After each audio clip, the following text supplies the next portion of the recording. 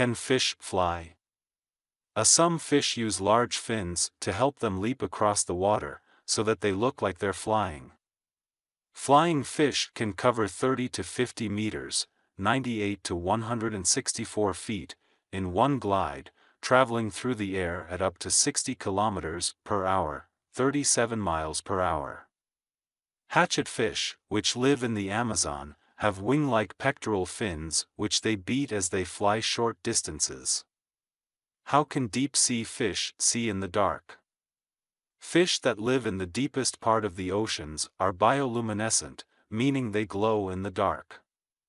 Certain chemicals in the body of these fish produce a glowing light that helps them find their way through the dark waters.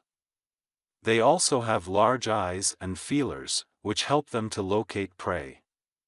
In fact, it is because of these glowing fish that the deepest part of the ocean is known as the twilight zone.